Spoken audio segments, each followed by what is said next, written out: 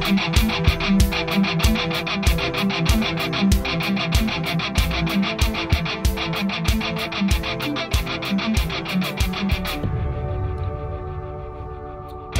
is Dr. Jerome Corsi, and today it's uh, Tuesday. It's March 12th, 2024. Uh, as you can see, I'm traveling again. I'm in a hotel room. I'll be traveling much of this week, and uh, bear with me. We um, we I, have an announcement to make, which is that my new book is just published. It's uh, on Amazon right now, and I want to feature it for a minute or two here to, at the start, and we may do much of this program on it. But the book is The Assassination of President John F. Kennedy and it's titled The Final Analysis, which is a forensic analysis of the JFK autopsy x rays, proves that two headshots from the right front and one from the right rear are what killed Kennedy. He was also hit in the back, one in the back, two shots from the front, and one in the rear. Okay, now if we go to, uh, Chris shows you the cover here, and we can pull up the cover and enlarge it. I want to show you on the x-ray, and I'm going to go into the book and do a little bit of analysis of it before we do some things on the news today. And that is if you take a look at this and pull up the, enlarge it if you can, Chris. Uh, what we, I'm working with Dr. David Mantik. Now, Dr. David Mantik is a radiation oncologist, and he has uh, seen the x-rays in the, uh, in the uh, archives, the skull x-rays of JFK, uh, a total of nine times. That's more than anyone else. And he's been writing about this for 30 years because he's found some remarkable things which show that, in fact, JFK was shot from the front as well as from the rear. Now, what Dr. Uh, Mantik did is he took optical density email uh, measurements of these X-rays. And Chris, if you'll enlarge, just be, I'll point out first on the Zapruder film, you can see the blue arrow Kennedy was hit at the forehead, the right forehead, uh, and right at the hairline. And then the second shot, and the sequence was almost right on top of each other, but the uh, the red arrow shows a shot that went in at the right temple, right above the ear, and it blew out the back of his head. You can see it in certain enlargements. We showed in the book. There's a big black space here at the back of Kennedy's head, and that was placed there. Uh, that's again a masking in the film. It was it's a doctoring of the film to mask what was really a gaping hole at the back of JFK's head. And the third shot, which is this yellow arrow, came in at the at the knob in the back of his head and hit at the low angle. It was a low angle shot. It was not from the Texas School Book Depository. Now, I think one of the most startling things in the whole book, and it's on the cover, Chris, if you'll just enlarge the skull x-ray, the skull x-ray places these arrows. The blue arrow is right at the forehead. Enlarge that a little bit more if you can, Chris. Uh, that's good. The blue arrow right there is the shot at the forehead of Kennedy. The red arrow is right by the ear. That's where the ear would be. That's the temporal bone. And the yellow is right at the EOB, the what they call the um, external it's it's the uh, it's a, a, a, a protuberance. It's a, a bump at the back of your head. Okay. Now, if you look at the blue arrow, what you're going to see is the shot came in at the forehead. Right there, you can see an entry point, and I'll show you in it. If you take a look at the book, you can see we do in great detail uh, that site, so you can see the actual entrance. Go back up and enlarge it again, Chris, if you would, for a minute. Good. Then, if you trace across the top, you can see there's actually in the X-ray, there's all these little dots here, which are bullet fragments. So those bullet fragments start at the front of the head and they end at the back of the head and they do not exit, which means that was a frontal shot. And also the largest fragment is in the back of the head. So that largest fragment uh, means that the bullets given the momentum, largest fragment is going to travel the furthest in the head. So it went to the back of the head. Uh, this red arrow, you can see there the a little notch is where the bullet entered. right there, that little tiny notch. I'll show it to you if we get to the back of the book. More pictures on it. There's a lot of illustrations in this book. At the very back, you can see there was here part of the skull is missing because it was blown out. But the top arrow, the blue arrow, there is no exit at the back of the head. Okay, and so that's a frontal shock for clearly. Now, if we go into the book, Chris, if we can pull into the book at about oh page 17. When JFK came to the emergency room at Parkland Hospital, which he was driven to almost immediately, but it took very few seconds to get there. This is the interior of the book, what it looks like. And if you go to page 17, scroll through it, you'll see there's, uh, I'm discussing in the book, we, it, uh, good introductions by Doug Horne, who did the Assassinations Records Review Board. He did five volumes on the Kennedy assassination.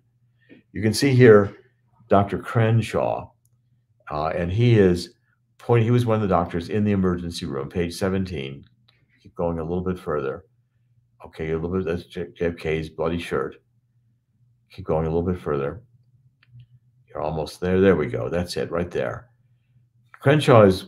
This is a video he did many years ago. Later, and what he's pointing out is that when he saw JFK coming into the to the emergency room, he noticed that there was a shot that entered at the right there, the picture below. You can see in the uh, at the hairline and the forehead, and it went across the top of his head, and but did not exit. That's a frontal shot.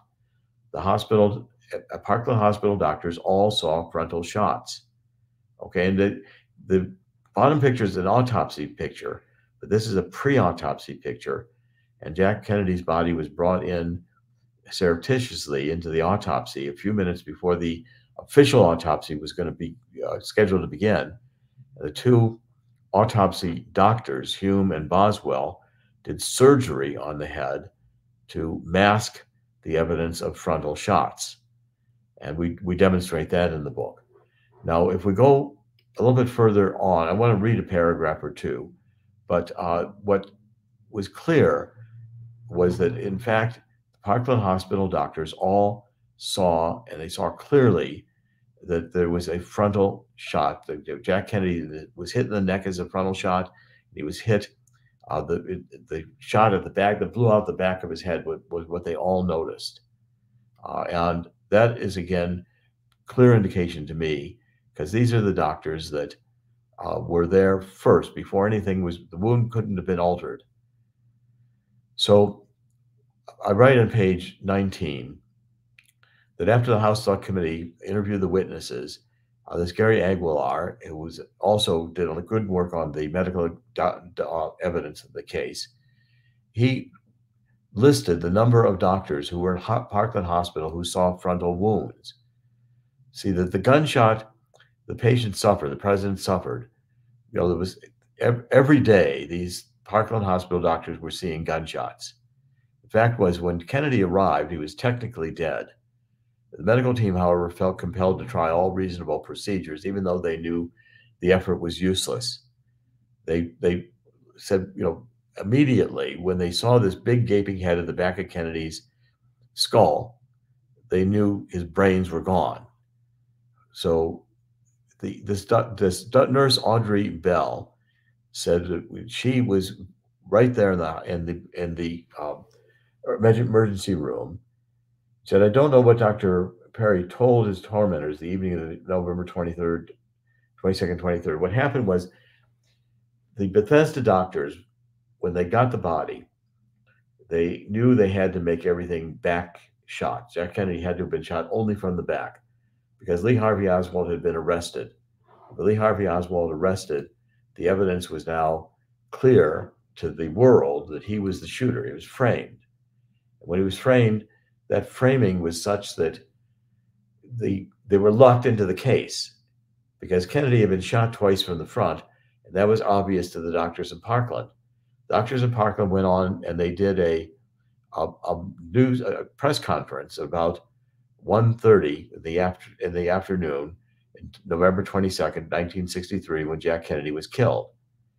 And so if you go page 27 is where I report this, Chris, saying at 1.31 p.m., a deeply disturbed Malcolm Kilduff held a makeshift press conference right in the White House. He was one of the press secretaries for Kennedy, and he also pointed to his forehead to say that's where he saw the shot.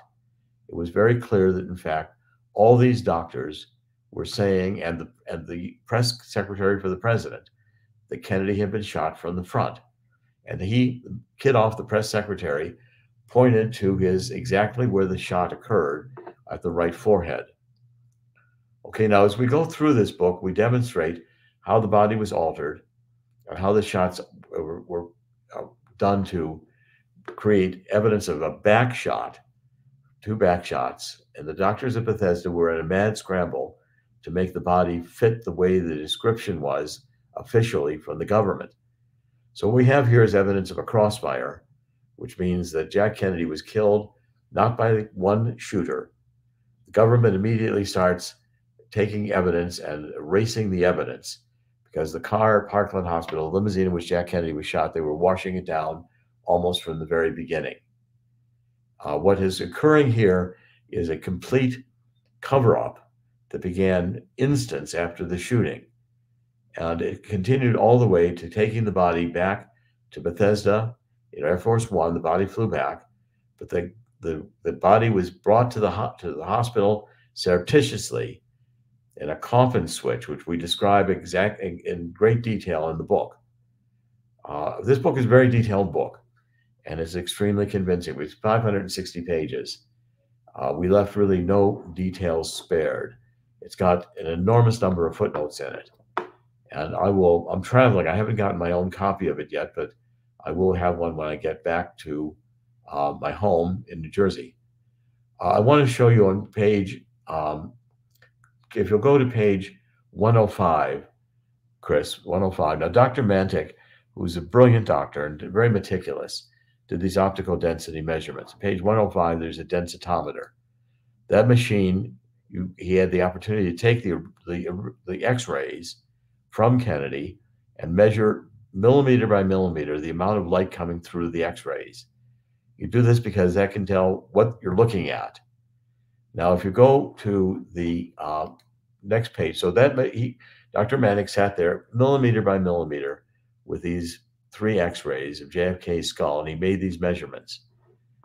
Now, if you'll go to the next page, on page 107, Dr. Mantix begins to discover and, and present how these x-rays have been altered to mask evidence of the frontal shots. So the three x-rays, all three are not the original x-ray. Okay, so on the figure 2.6, and you can see there where the blue arrow is, there is in fact a bullet there that looks like a bullet. Looks like a 6.5 millimeter bullet. They planted it there, that image, but that is a artifact because it only shows up in the X-ray that's done from the front to the back of JFK's skull. It does not appear in the lateral x-ray, which was done from the side of his head. In other words, it isn't a real bullet.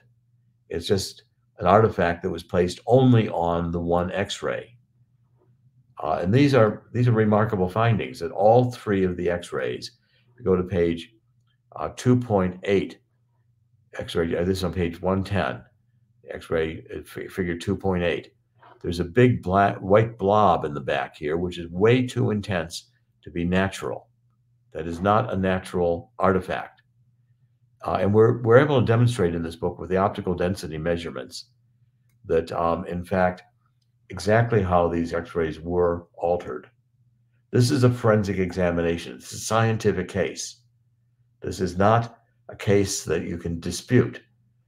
Uh, because in fact the measurements were also verified by Dr. Chesser separately so we got two doctors who did the exact same measures of the x-rays. They came to the exact same conclusions, namely that they are JFK's x-rays because the teeth match a set of pre-mortem x-rays that are in the archive. They're in the uh, JFK's museum in Boston, which show, in fact, that the teeth are identical. But the x-rays have been altered to mask with, they've been images placed in them uh, which is a faked X-ray. We go to great lengths in the book to show you how X-rays are faked. page 148, uh, you can see the white patch that's in the back of the head. And that white patch uh, is extraordinarily white. It's way too white for it to have been a natural object. Uh, and another picture of it is on 152, figure 3.2. This book is heavily illustrated. It has a lot of different, um, every point we're making in this book, we show you. So you see the evidence directly. And the illustrations are designed to be very vivid. Right now here, this is in color. You can see this in color on the uh, on the file. Eventually, this will be uh, on the uh, you know uh, Kindle or an ebook. We're not quite there yet with being able to do that, but we're we're in the process of putting it together. Now, if you look at figure uh, page 167, page 167, figure figure 3.4, we're really showing you the bullet trail where, where the red circle is. That's the fragment, page 134, uh, 167. There you go. That's it exactly. The red the red circle shows you the, the large fragment from the frontal shot that traveled the furthest in the head, which again shows that that was a frontal shot. That's what was seen at Parkland Hospital. By the time it was the the autopsy was finished at Bethesda, they did not see any frontal shots. Again, it's because of the alteration of the body. The neck wound was greatly extended to make it look like a blowout wound. Uh, the front of the head was, again, they messed up the front of the head. It looked like it was part of a blowout from a back shot, and it erased the bullet hole that was seen at Parkland.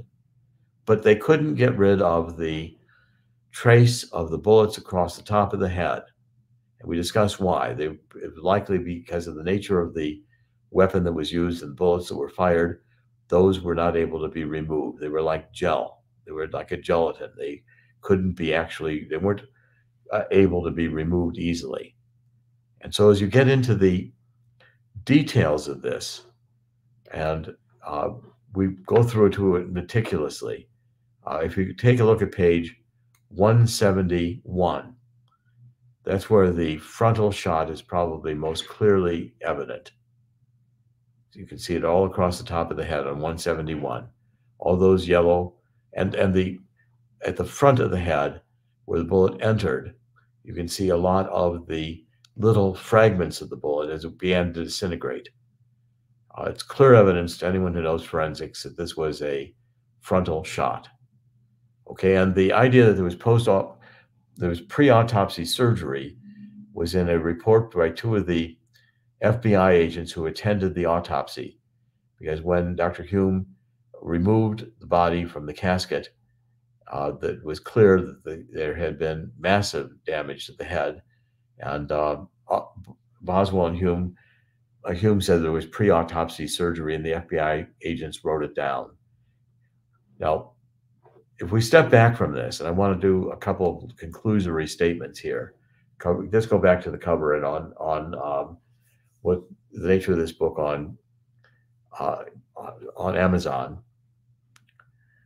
Uh, this book is going to be uh, a massively important book in that for 60 years the government has lied. And what this book demonstrates and proves is that the government has taken probably the greatest crime ever committed the assass- open assassination of a president by crossfire that was coordinated and organized by the government, evident because from the moments after the from the instance after the shooting, the government was there cleaning up the limousine, which is a crime scene that could have been analyzed for blood splatter and many other things to determine uh, where the shots came from. Instead, Secret Service was washing it down and destroyed. The, and, and by the way, we go to great lengths to show that the a shot came through the windshield. Where were the shooters? There was at least a shooter on the grassy knoll. There was a shooter on the other side of the triple underpass, the south side of this little area where Kennedy was killed in, bought by the railroad bridge. So there's two, at least one shooter on the grassy knoll, maybe two. One shooter from a low angle from behind, and that is a shooter from the Dal-Tex building. So we know at least three shooters. And we do an analysis of how many bullet fragments there were. There were many, there were possibly many more shooters, but there's no indication whatsoever that Lee Harvey Oswald shot any shots from the sixth floor that hit Kennedy, because the shots that hit Kennedy did not come from that angle. And with two shots from the front, there had to have been more assassins. Lee Harvey Oswald couldn't have magically jumped from the sixth floor of the Texas School Book Depository and started shooting from the front. Didn't happen. But the government has maintained a cover up. Now, if the government is lying about this, what else is the government lying about? I would venture to say almost everything. The government of the United States has lied to the American people about the assassination of the president, in which the government was responsible. I'm going to read just a couple sentences from my uh, introduction here, and uh, you can keep the. You don't have to go to that in the pages, Chris. I wanted everybody to see how detailed this book is, and how complete it is with illustrations and the like. Now, uh, what we say in this prologue and the beginning of it, David Mantik wrote a, a preface, an introduction was there from uh, Douglas uh, Horne, which I think is a, a great introduction, and um, the prologue, which I wrote, this was a real collaboration. Uh, David Mantik and I have been working on this for a year, uh, and it was a lot of hard work. And uh, you'll see it when you see the details of this book. So, in the prologue, I write for 60 years now, since November 23rd, 1963, the federal government of the United States has lied to us about the assassination in Dallas of President John F. Kennedy. When JFK's limousine arrived at Parkland Hospital, Secret Service agents destroyed evidence by wiping JFK's blood and brains from the limousine that carried him to death. And still today, U.S. intelligence agencies continue to redact, classify, and conceal crucial documentary evidence. That's, a, that's an essential point. Uh, even President Trump was convinced not to release documents from the Kennedy assassination. We still do not have the full story released, and many documents by the government were destroyed. I continue to read what I uh, wrote, and I'm going to a few more paragraphs. We begin by acknowledging our debt to the scores of JFK assassination researchers who devoted their time and effort to illuminate what happened on that dark day in Dallas 60 years ago.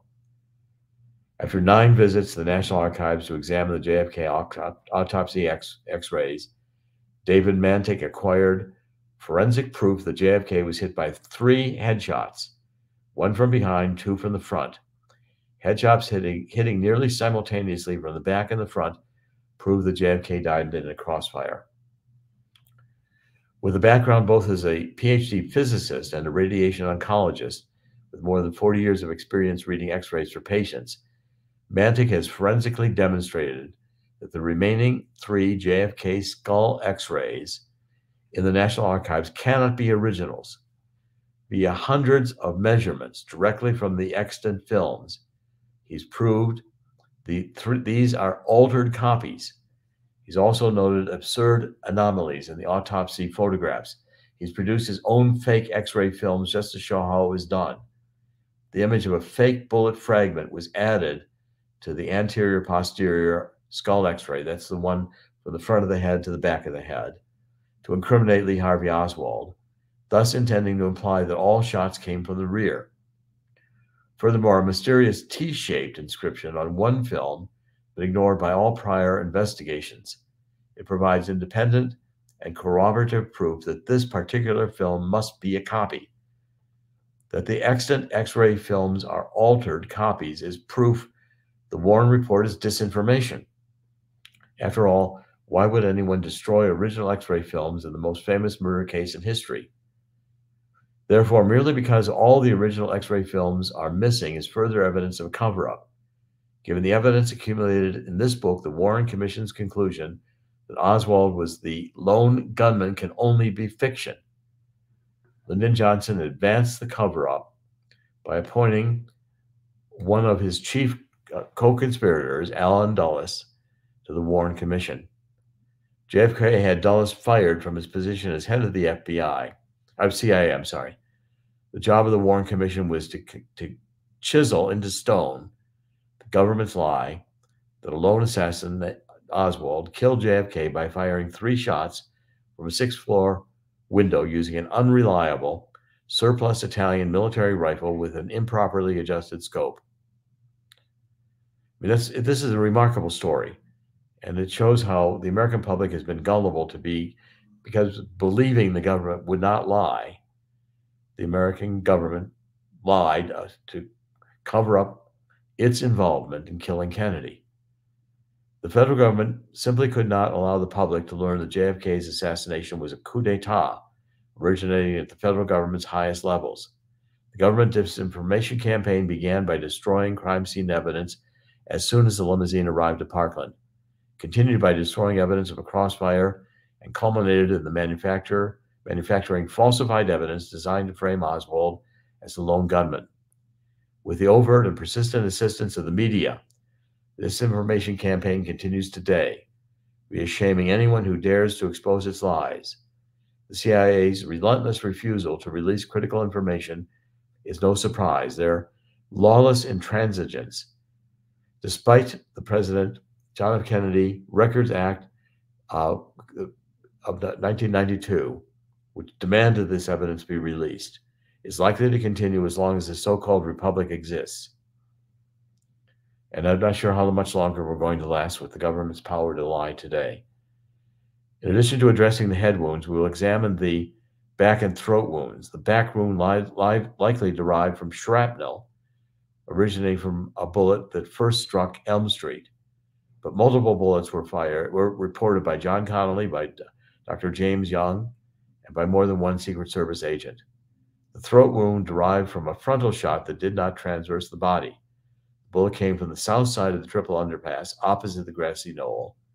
After the bullet, bullet transmitted the, wind, the windshield, a glass, a glass fragment entered JFK's throat.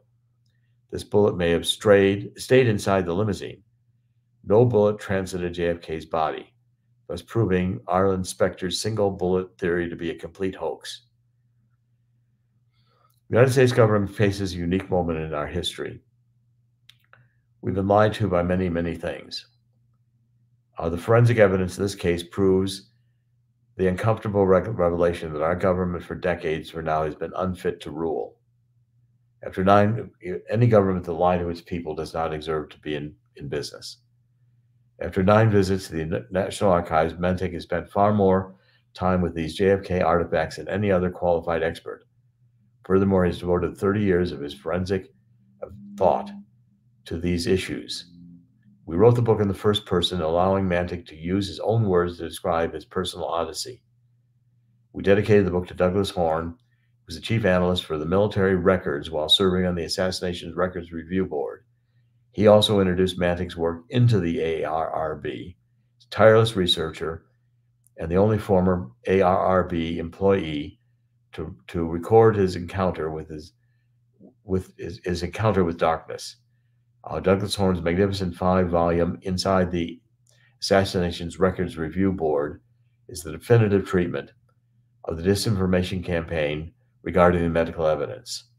Throughout this book, Mantik's accord with Horne will become obvious. A domestic conspiracy, paid for with tax dollars, killed JFK. Uh, this book, I think, is historic in that it sets the record straight.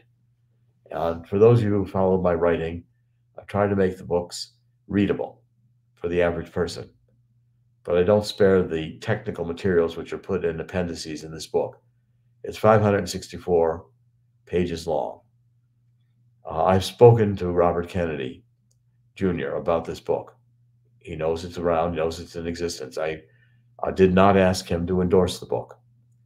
As a courtesy, we shared with him the book before it was published Wanted him to be able to comment on the book if he was asked. It will take us some time to get this book noticed because we're not going to be able to be on Fox News. The book will not be covered in the New York Times, the Wall Street Journal, the Washington Post, or any other mainstream uh, source. You're not going to see it on the nightly news.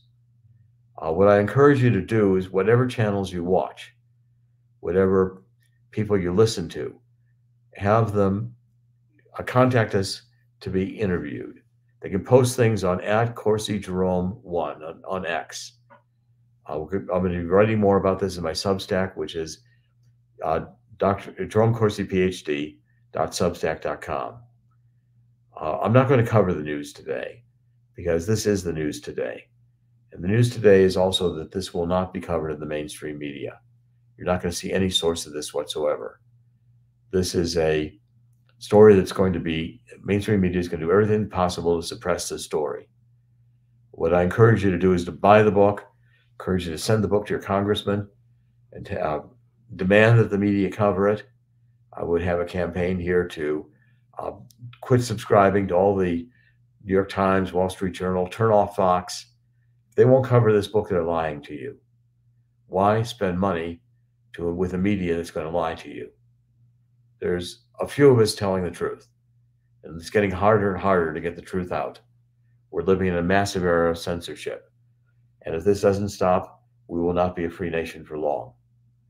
Uh, the republic is under severe threat, and it's uh, it's to me extremely shocking to be able finally to produce definitive evidence, scientific evidence, disputable evidence that JFK was shot from the front and from the back. I mean, this is to me astounding. The day JFK was killed, I was 17 years old. And I watched it, and from that moment, I knew as I watched it unfold that this was all a lie. I never believed that Lee Harvey Oswald shot anyone. And when he said he was a patsy, I think he was right. Uh, the moment Lee Harvey Oswald was shot, I was watching it on television. That instant, I knew that this was a cover up. They did not want Lee Harvey Oswald to talk. The federal government has been in control of this Truman Show. The entire 60 years of documentaries have been masterminded by the CIA to lie to you. We found a memo was released with the documents that have been released, which is an internal memo from the CIA in which they instructed the CIA members to refute anyone who dared to tell the truth about Kennedy. It's a detailed memo. You can see it in the book. There's a lot of material in this book. You've not, you not, uh, it's going to be a shock to you. But bear through it and make sure others demand that it be seen. The final analysis. Uh, David Mantik, whom uh, has become a, a friend, uh, I, I think he's uh, brilliant. Anyone who get a PhD in physics and an MD and be a radiation oncologist studying X-rays for cancer is brilliant. And he has done the research that has demonstrated that Kennedy was shot from the front. My role in this, I've been. This is my second book on the JFK assassination. Chris, if you can find uh, the uh, listing for the other, it's who really killed Kennedy. I wrote that 10 years ago. I wrote that in the 50th anniversary of Kennedy's assassination. Who really killed JFK? In which I tell the political story. The political story is that JFK wanted to make peace. He did not want to go to, to nuclear war over the Cuban Missile Crisis. He was pulling out of Vietnam. He was back channeling to Khrushchev. We would not be having the wars going on that we have today had Jack Kennedy lived. I'm confident of that. There's the first book I wrote, Who Really Killed Kennedy? It's been a major theme in my life. And when I realized, even at 17 years old, that the government was lying to us, I began taking on this mission, which I'm continuing to fulfill today. The Truth Central is we're endeavoring here to give you the truth and we'll continue to do that. Uh, Chris, do you want to make any comments before we wrap up? Oh, yes. Um, the JFK assassination has always been fascinating. And as uh, people will probably guess, I was not born until six years afterward. However, when I was growing up, you say you were 17 and uh, when, when this happened, when I was growing up, the big assassination, well, the big the big shootings were the, uh, the attempt to kill Reagan and the assassination of, uh, of John Lennon and well, people ask at parties, where was I? Or where, you know, how people ask at parties, where were you when Lennon was shot? Well, I, I don't have an alibi, so I wish people would please not ask me that question. Well, no, no one suspects you of shooting John Lennon. So That's okay. Uh, but on a serious, on a serious note, the JFK uh, assassination has fascinated uh, many people for the very reason uh, that that you're discussing this because the government has hidden major details that people were suspecting for a long time. It's just hard to not look crazy without the evidence. And, and here in this book, you present the evidence, you present uh, real forensic proof, and you present X-rays. And this is this is very very important. Where people who may have suspected this all along now have material proof. Well, this has been this to me is I think the the most important book I've ever written, and um, I don't quite. I mean, it, it, culminates a lot of my career to to have published this book this book I've been wanting to, to write uh, for, for a long time. And uh, I'm now pleased to have it out there. But I want to also now wrap up, as I always do, with the theme that is central to my life, which is that in the end, God always wins. And uh, God will win here too. It's taken 60 years, but we now have uh, proof that the government has lied to us for 60 years. The government that will lie to you for 60 years will kill you.